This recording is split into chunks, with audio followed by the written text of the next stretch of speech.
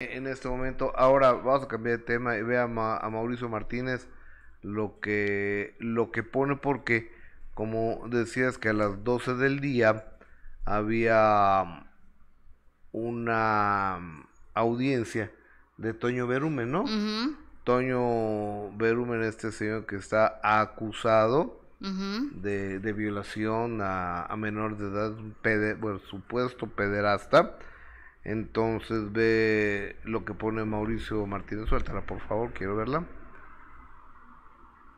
¿Lo alcanza a leer? Sí, amigo, yo sí. Interesante que hoy sí haya cámaras de Azteca afuera de la audiencia, sobre todo después de confirmar que se buscaba sobornar al juez ofreciéndole dinero. Sabemos de sobra que ese medio está del lado del agresor y en México todo puede pasar. Los mantengo informados. O sea, ¿sí hay? Sí, sí hay.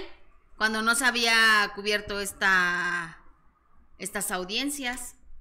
Y después dice de, de, tratar de sobornar al juez precisamente de, de, que Mauricio también lo dio a conocer y que Mauricio ha estado, como lo dice eh, en este tuit, manteniendo informados porque la verdad es que Mauricio Martínez Gus desde que decidió hablar y decidió levantar la voz, nos ha mantenido muy informados sobre todo lo que sucede eh, con esta situación de, de, Antonio N, que ya también son muchos los comentarios que aseguran que algo hay detrás de, porque es, es, no es, es inaudito que no se haya hecho todavía justicia cuando todas las pruebas están ahí, cuando ya, ya tenemos un audio donde el abogado está tratando de sobornar a Gustavo, cuando entonces eso quiere decir pues que si hay culpa, ¿no? Que si hay un delito que perseguir, cuando intentas sobornar a alguien es porque hay un delito que perseguir, es porque hiciste algo malo, es porque sí hay eh, quizá pruebas que te pueden eh, culpar y responsabilizar de lo que te están acusando. O como por qué intentarías tú sobornar a alguien.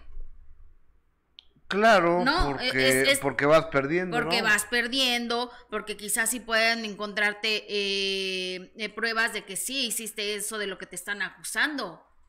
Y, y, los audios son clarísimos, de que hay un soborno, un intento de soborno, por supuesto que lo hay.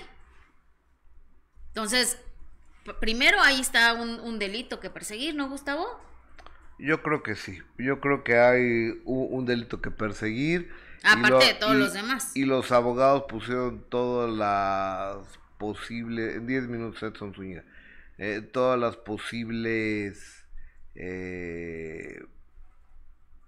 pretextos para no ir, que tiene COVID, que le salió un grano en la cola, que trae pie de atleta, se borrea, onitomicó, no sé, todos los pretextos que ahora está tose y tose.